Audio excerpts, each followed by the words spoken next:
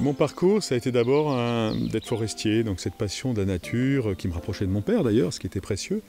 Et donc l'envie de, vivre ma vie euh, dans, les bois et d'en faire un métier. Ça m'a amené au Canada, ça m'a amené en, France, euh, dans les Vosges, dans le sud de la France, et puis en Afrique. Le, hasard a fait qu'en Afrique, j'ai découvert que j'avais une voix de ténor d'opéra. Et donc ça fait basculer complètement ma vie.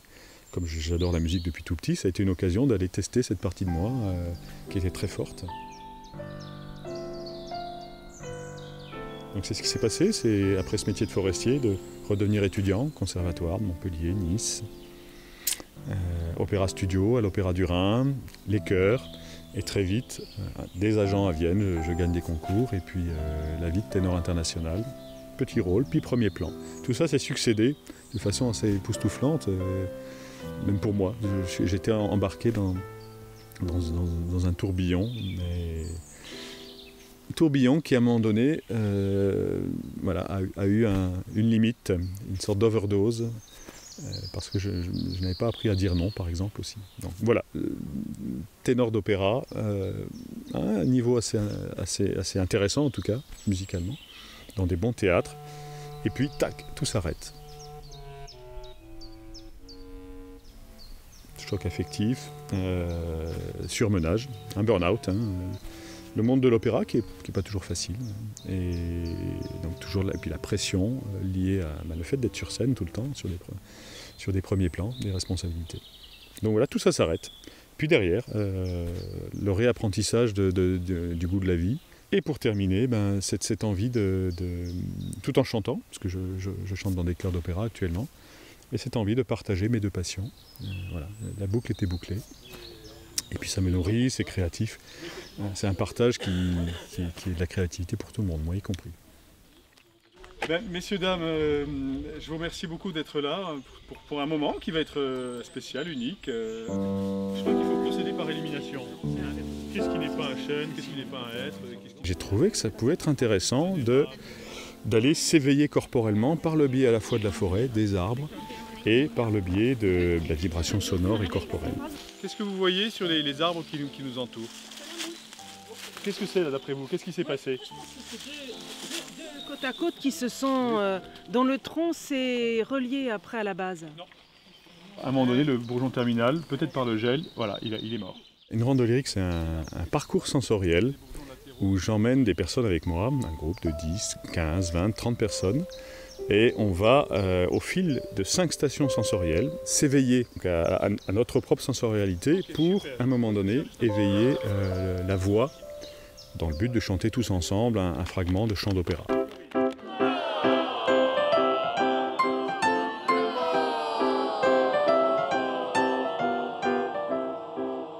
On va le faire à deux voix. Je vous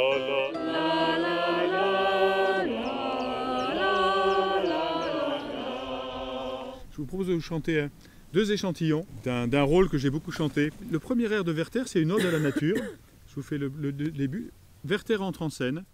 Le chant, quelque part, c'est un, une manière de nous rappeler que, nous sommes la nature. Je suis un ténor d'opéra, je l'assume pleinement dans les randos lyriques, et j'ai envie de le partager.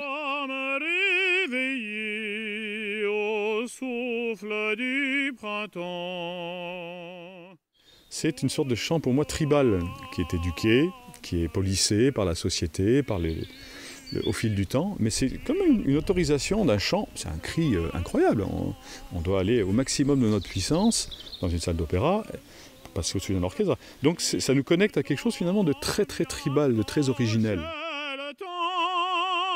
Ça a du sens de venir chanter de l'opéra, cette puissance-là, euh, dans la nature, puisque ce que j'ai envie de partager aussi, c'est que nous sommes la nature.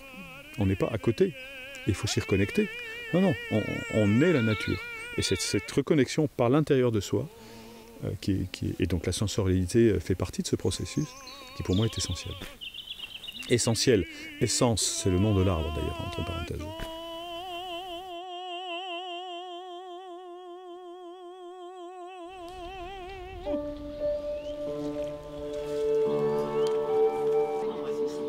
pamplemousse.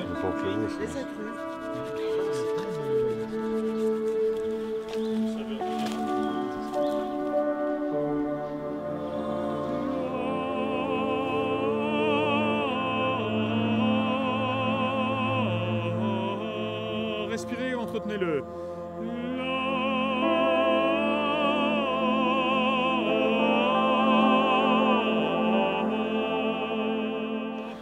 Suis encore euh, timide de ma voix parce que je la connais pas et ça fait drôle quoi.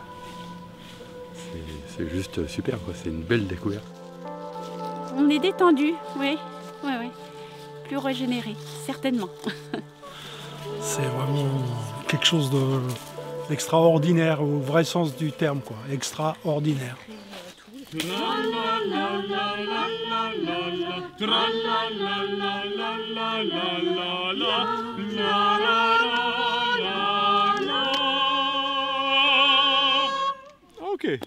Ça vient. La voix aiguë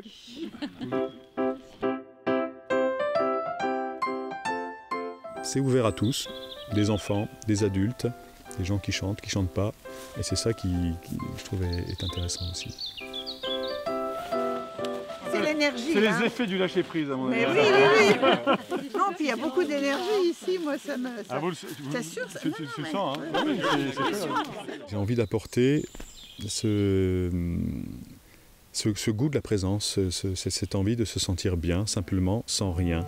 Juste en, en, en apprenant simplement à, goûter ce qui, est là. Un chant d'oiseau, d'être contemplatif par rapport à ça.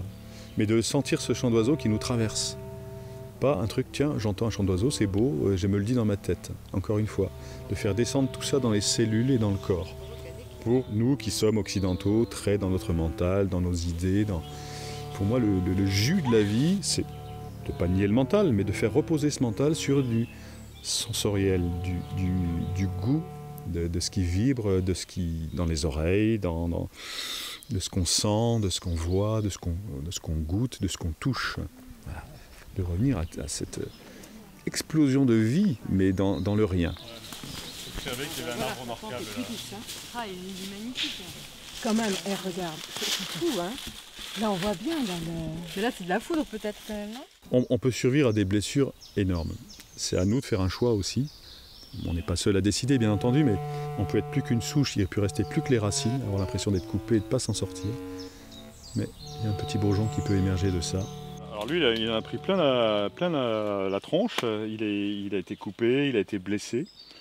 Et il a eu une stratégie magnifique de, vie, de, survie, par les rejets qu'il a pu euh, laisser pousser. Voilà un magnifique exemple de résilience dans la forêt.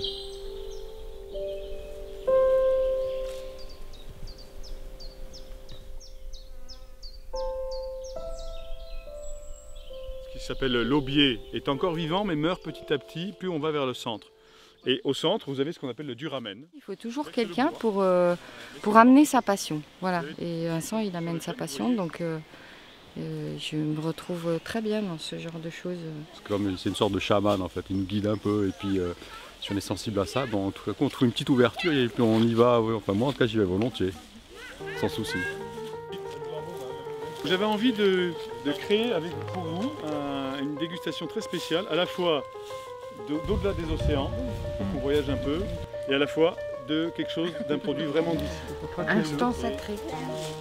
Il est un peu sableux même. C'est vraiment, on sent que c'est la fève qui a été broyée. Les, les randos lyriques, ça a été le, le fruit d'une expérience personnelle, un changement de vie radical, la perte de ma voix, la perte de, de personnes qui m'étaient chères et qui ont fait que je suis vraiment tombé. Et que pour me requinquer, euh, pour me retrouver et me retrouver de la joie de vivre d'ailleurs même, je suis allé dans la nature. Alors il se trouve que c'était chez les Amérindiens, chez les Wendat Hurons euh, au Québec. C'était aussi un, de mes rêves de gosse, donc je l'ai réalisé à ce moment-là. Et c'est là qu'au fond du trou, j'ai réappris à vivre et à venir justement dans l'instant. Euh, J'étais un peu perdu dans les projets et les regrets. Et- mais je n'étais pas dans, le jus de la vie de l'instant. Et ça, c'est euh, les Amérindiens, les arbres, des chiens-loups, la force de la nature du Canada qui m'a permis de revenir, à la, de revenir à la vie de cette manière-là, de façon tout à fait intense. Et quelque part, c'est un concentré en trois heures de ce que j'ai vécu en quatre mois dans la nature euh, au Canada, que je propose aussi dans, dans ces randos lyriques, sans trop le dire. Voilà. L'invitation à la présence, elle a aussi cette origine de la perte de la présence en ce qui me concerne, et de la retrouver euh, consciemment avec un travail et une pratique au quotidien.